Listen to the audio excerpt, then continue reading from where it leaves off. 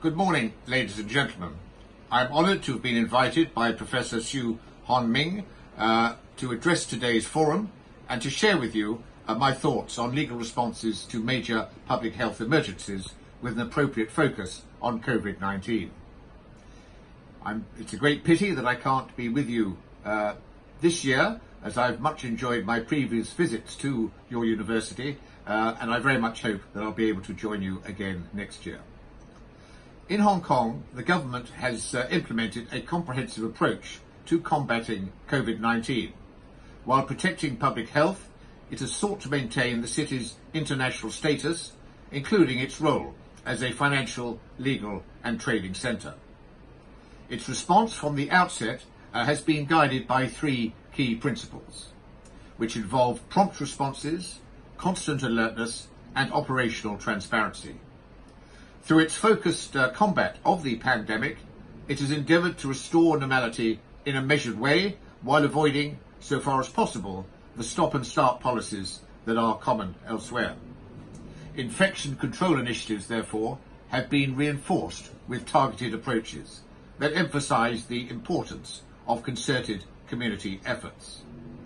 Social distancing measures uh, moreover, are adjusted on the basis of the vaccine bubble concept, under which various public outlets uh, can operate uh, as long as their staff have received the first dose of the vaccine, and only welcome customers who have had uh, at least their first dose. Restaurants with vaccinated staff who have already received their first dose are now allowed to operate until midnight uh, and to seat up to six customers per table, uh, and the use of the Leave Home Safe mobile app or alternatively a customer's written details, is enforced on all premises. As disease control uh, affects the uh, rights of uh, citizens and require proper enforcement, effective legal mechanisms are required to buttress them. In Hong Kong, after the experience of SARS in 2003, and having regard to the World Health Organization's International Health Regulations of 2005, the prevention and control of Disease Ordinances subsidiary legislation was enacted in 2008.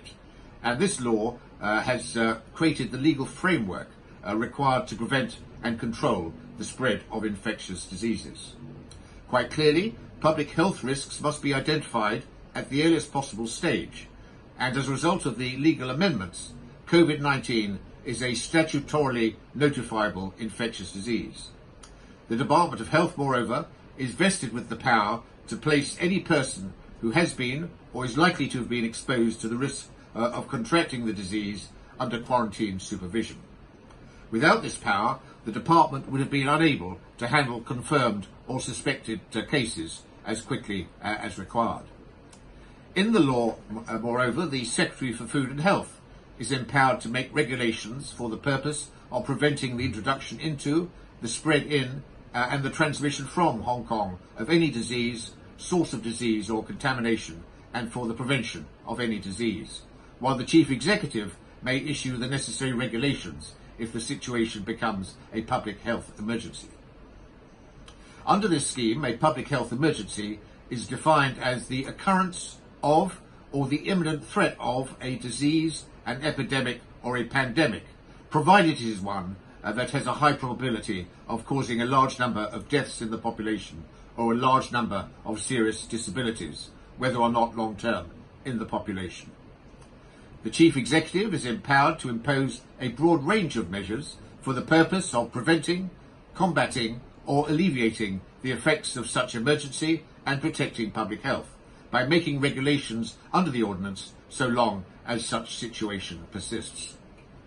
Now, ladies and gentlemen, in many jurisdictions, specialised laws that facilitate the handling of public health crises are in place, and Hong Kong is no exception.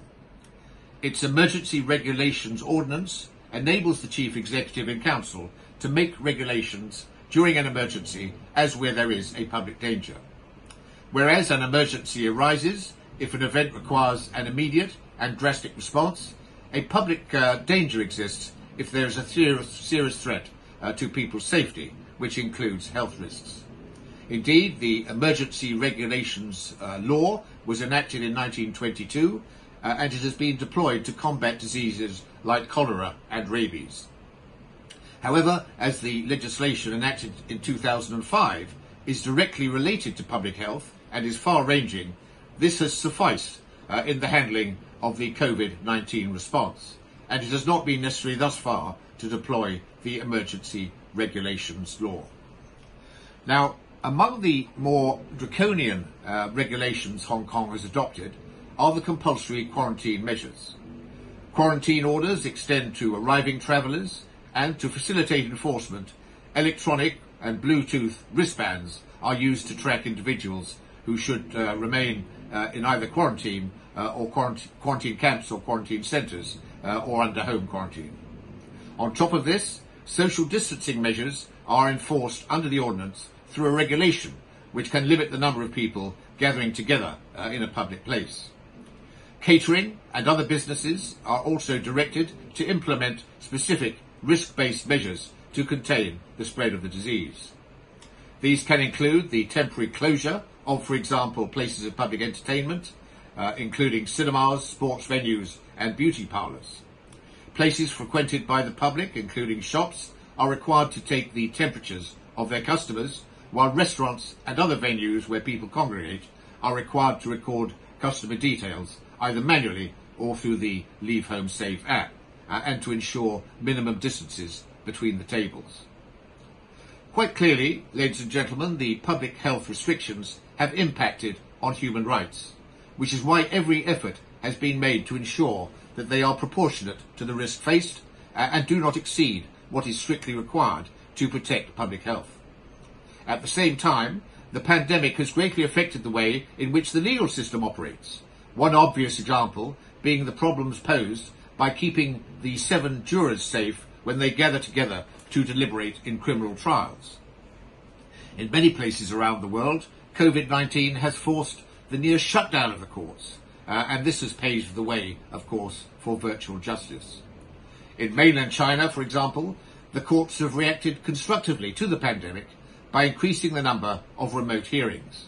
In Beijing itself, where the online trial system can now support 200 courts holding cases simultaneously, the Higher People's Court uh, instructed judges last year to make full use of the online case handling system uh, and to inv- advise litigants how to use its digital platforms. The parties can participate in contactless proceedings via laptops and telephonically, uh, and they can give their evidence and cross-examine witnesses online. The entire process is recorded through voice recognition, and after the hearing, the parties can obtain a QR code to create electronic signatures of the trial transcripts. In Zhejiang province, the Higher People's Court has instructed the lower courts to provide advice to the parties about online procedures, including filing cases, contacting judges, submitting materials, holding court sessions, and mediating online. And in March 2020, moreover, in Hohhot, Inner Mongolia, the Hainan District People's Court tried a criminal case with only the judge and a court clerk in attendance.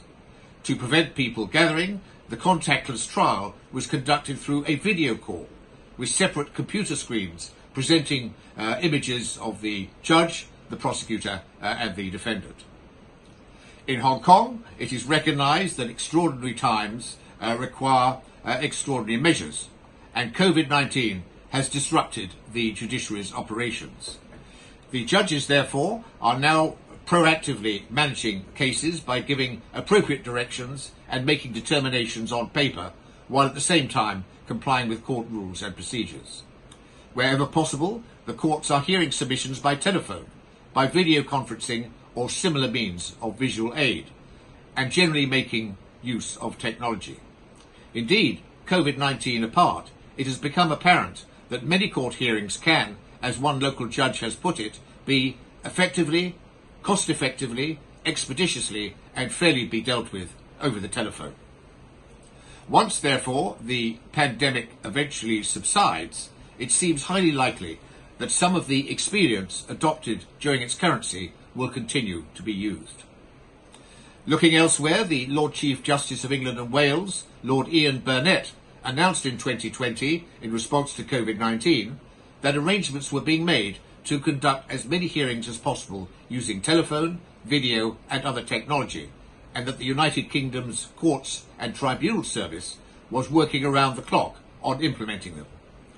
As regards civil uh, and family courts, where some uh, hearings were already conducted over Skype, Lord Burnett said physical hearings should only take place if a remote hearing is not possible and if suitable safety arrangements can be made. The Judiciary of England and Wales has also issued a protocol covering remote hearings in civil cases. This acknowledged that the current pandemic necessitates the use of remote hearings wherever possible, uh, and that available methods for remote, remote, for remote hearings included British Telecom, conference call, Skype for Business, court uh, video link, BT Meet Me, Zoom, and ordinary telephone calls. The protocol, moreover, requires the parties to a case, where necessary, to prepare an electronic bundle of documents, which can be in PDF or other format, and which may be filed electronically with the court or else delivered physically on a USB stick. In March 2020, the United Kingdom's Coronavirus Act 2020 was speedily enacted, and this has expanded the availability of video and audio links in court proceedings, both civil and criminal. Some applications may also be made telephonically, as where somebody wishes to challenge a restriction of movement or order imposed for quarantine reasons. Although the judiciary always has the final say on how a case will be conducted, everything possible is now being done to enable the, the uh, courts to function remotely in the absence of the parties. Again, once the pandemic is over, the lessons learned on how to cope in adversity may well endure in the UK's legal system. In Canada, moreover, which has adopted similar techniques, the Chief Justice, Richard uh, Wagner, uh, recently expressed the hope that, quote, this new way of rendering justice will be kept in the future, close quote. In conclusion, it is clear that the legal systems throughout China and beyond are adapting themselves to COVID-19 through the maximisation of technology. In previous times, a pandemic on this scale would have almost brought the courts to a standstill, but that, that has not happened this time. Instead, innovative uh, responses are enabling legal processes to continue, albeit in novel ways, uh, and some of the changes have actually improved things, as where access to justice has been facilitated, procedures have been streamlined, the backlog of cases has been cut, and the costs of, lit of litigation uh, have been reduced. As things return to normal, the lessons learned will be of enduring relevance. Indeed, the positives to have emerged from the ways in which the legal systems have coped with the pandemic will have a lasting impact on the quality of justice available to the public. Thank you very much for your attention, uh, and I'm sure that the conference will be a great success. Thank you very much.